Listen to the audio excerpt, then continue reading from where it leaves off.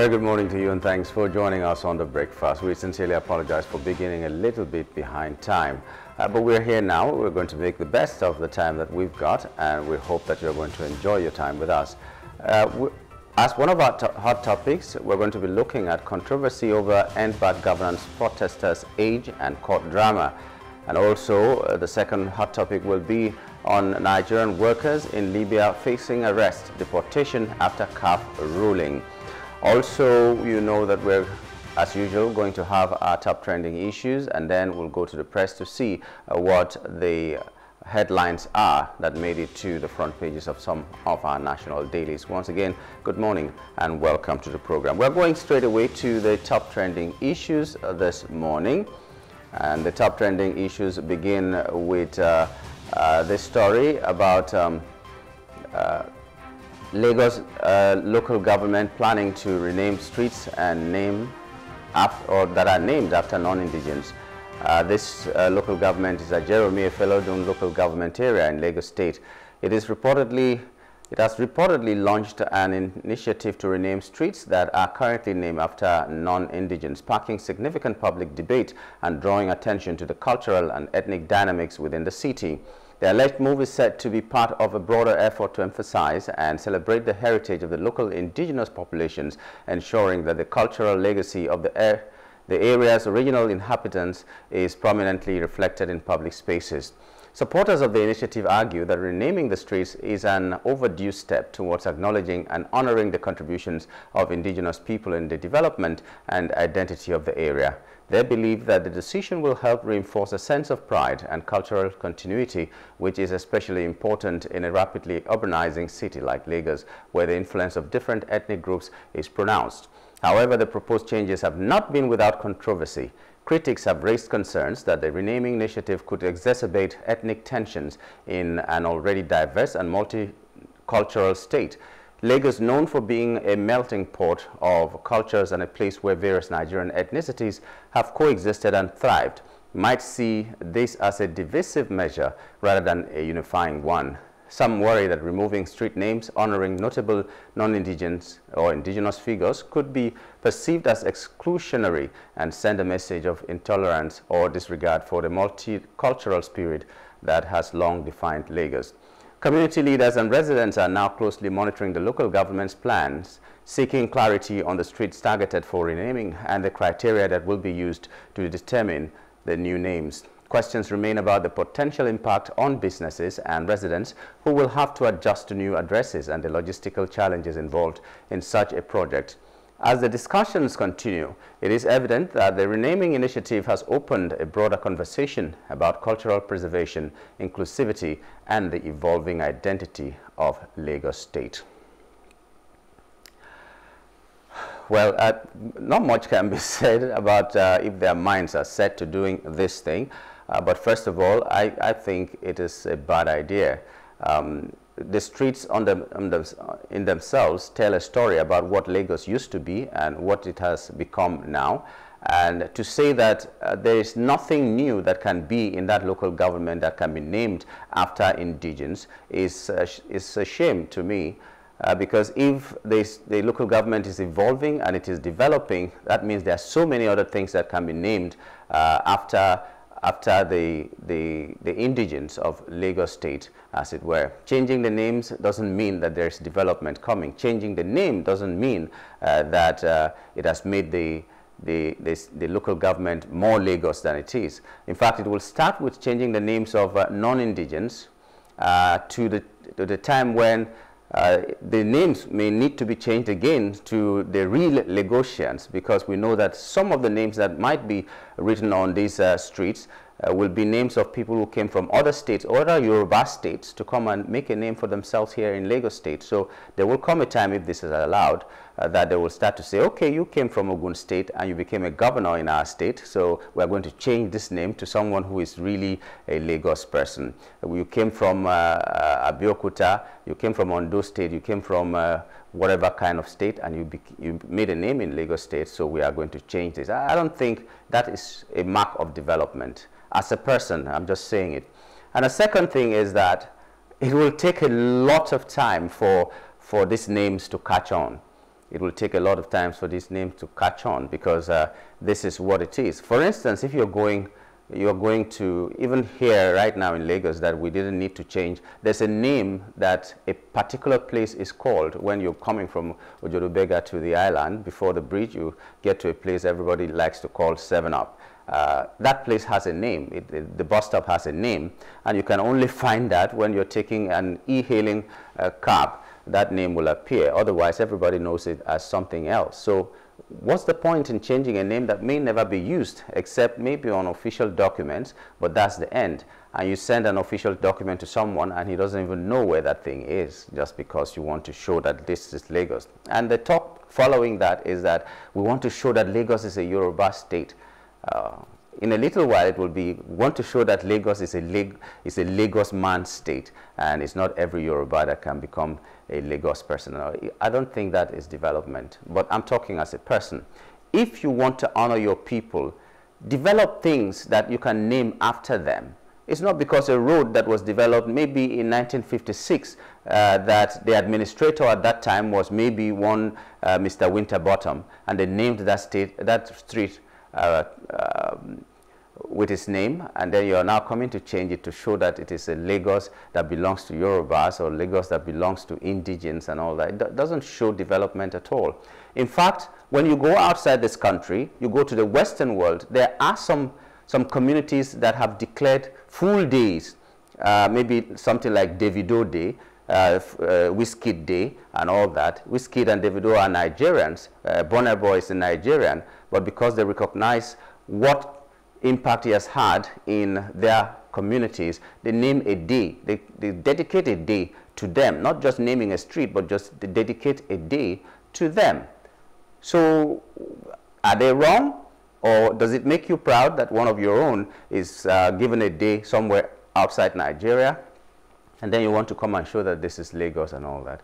I'm not saying this because I'm not an, an I'm not an indigent. That's not what, what I'm saying. I, in my own state, I know that there was a move like that, and a few states were named after indigents. Still date, nobody has ever used that, even in official documents, except it's the, the, um, the, the, the government that is writing. But any other document carries the old names. Nobody even knows those new names, even though they are boldly written on the signpost. So I think any place that is developing we should see so many innovations that will even overshadow those ones that were named after people who are non-indigenous. You have you have football fields or, or stadia that you're, you're, you're building, you have schools that you're building, you have so many other things that you're building. Name them uh, after your people. Build new roads, name them after your people, not changing the ones that are old.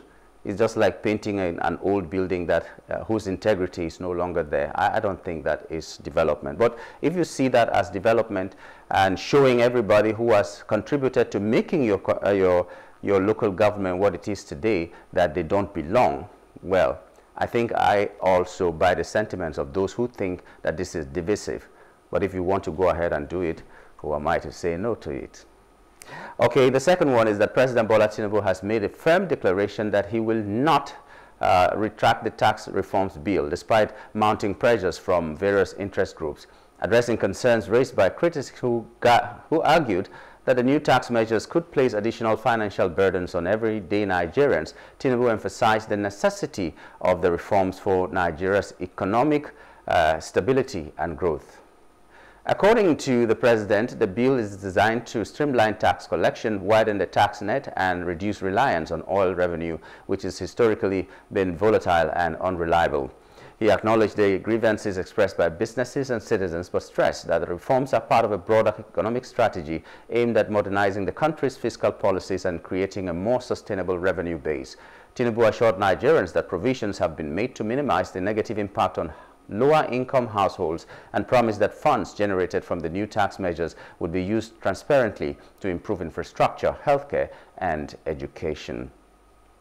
The president's stand has sparked a mixed reaction across the nation. Supporters argue that the reforms are essential for building a resilient and diversified economy, while opponents fear that the changes could stifle economic activity and exacerbate financial hardship for already struggling citizens. As the bill advances in the legislative process, all eyes are on the government's next step uh, with stakeholders urging continuous dialogue to address concerns and ensure a fair implementation of the tax reforms. Well, it, it's good for a president to take a firm stand. Uh, I, I, give him that. But sometimes a firm stand can, can come out as arrogance. If Nigerians are complaining about a particular document, then the best thing to do is to say, okay, let me take a look at it again and I will reintroduce it to the National Assembly and then call a few uh, stakeholders, more, more stakeholders into the matter to see what how you can convince them and then they have their own inputs into the bill that you're sending to the National Assembly, not just to put your foot down and say, no, you know what, whether you like it or not, I'm going to do this. That comes out as arrogance and that should not be the stand of a president. Sometimes you may not need to even make any changes to the document, but you need to just give the people the benefit of the doubt that they know what they're complaining about and call them to the table and convince them. And then there will be your evangelist that will talk for you instead of just saying that I will never, never do this.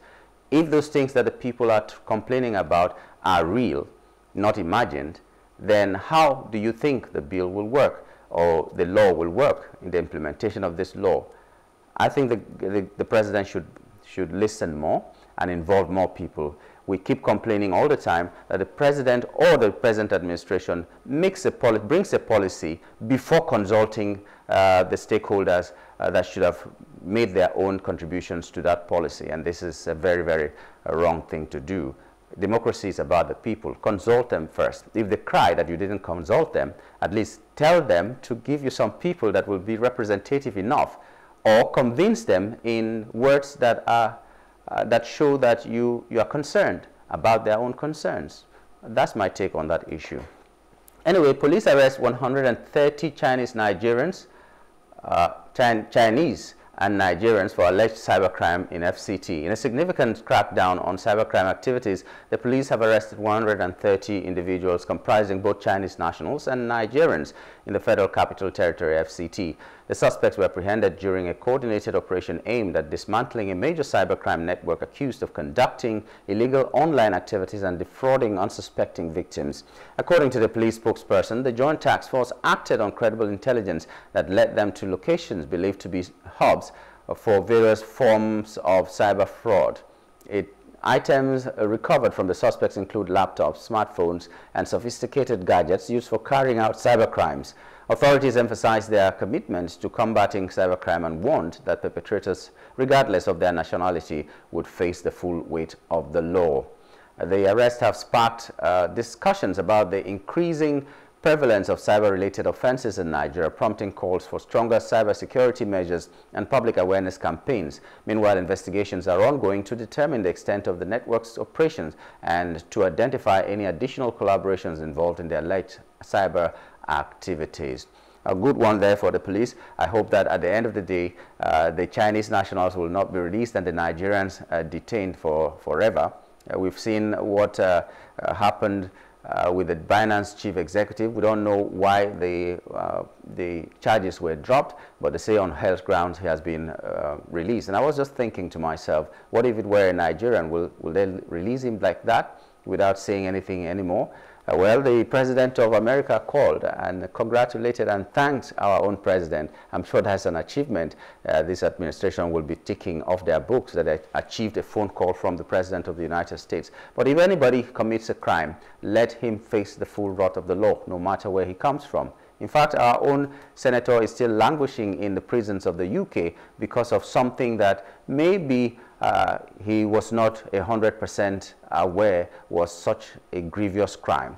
Uh, we, don't, we still don't know the details, but according to the laws of that land, he was supposed to go in for it, and he's still there in jail till date. I'm sure he also has his own health challenges, but he has not been released. So if this investigation, it is discovered that these people were involved in crime, treat them all equally, or maybe even more the people who are not from here because if they came from their countries to come and um, teach our people how to do crime and, and destabilize our economy and every other thing, theirs, should be even more grievous than uh, the people back home. But I'm not saying that you should segregate. Everybody should face the full wrath of the law. That is what it is. So thank you. Kudos to you, police. Uh, be very vigilant also to capture the Boko Haram and other people who are perpetrating evil in our country. And then we'll continue to clap for you. Uh, like the, the, the, IG, the IG said when he came into power, he said he was going to be moving like a lion, you know. I don't know if he's still a lion now or he's something else, but we still uh, thank you for the small things that you have been doing to help uh, sanitize our society. We'll take a break now. When we return, we'll be looking at the papers. Don't go away.